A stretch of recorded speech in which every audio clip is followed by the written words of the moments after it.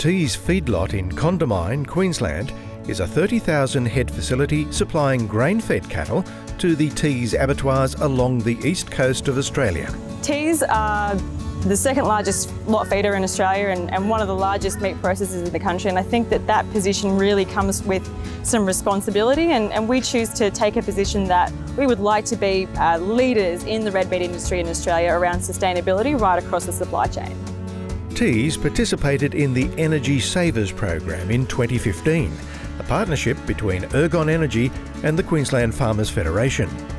The Condamine feedlot then engaged specialist energy and carbon management consultancy Energetics to complete an audit of their site with the aim of reducing energy consumption and operating costs. That gave us visibility over where all the energy was being used, what the costs are and what opportunities were about as well. And from that we prioritise those opportunities, um, assess them on their own merits and in the instance of the solar farm we actually decided to go even bigger than what was recommended here after we had done the energy efficiency projects. So those two things coming together have driven a really good outcome at this facility. Teys developed a 300 kilowatt system that was designed around the energy needs of the plant, offsetting their reliance on grid electricity as well as significantly reducing their carbon footprint.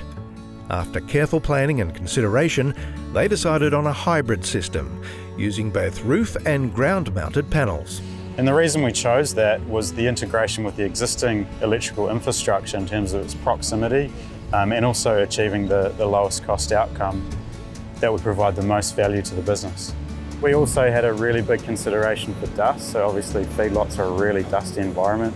Um, we reviewed different panel technologies in this instance we actually went with a frameless design um, to help mitigate risk of dust settling on those panels.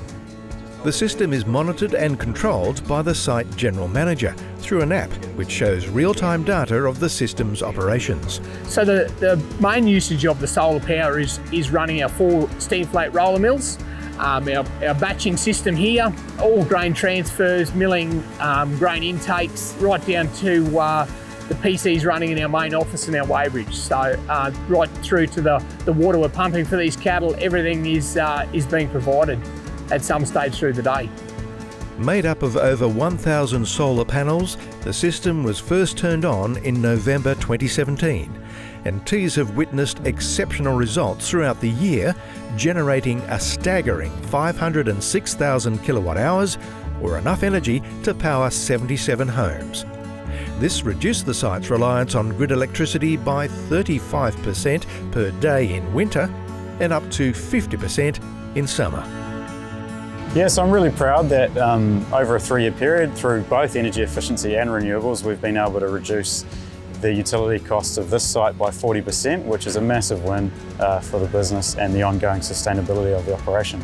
I think most people know that Teys Australia is a family-owned business, and I think they really take that family mentality uh, right into their operations, and, and it affects the way that we look at sustainability.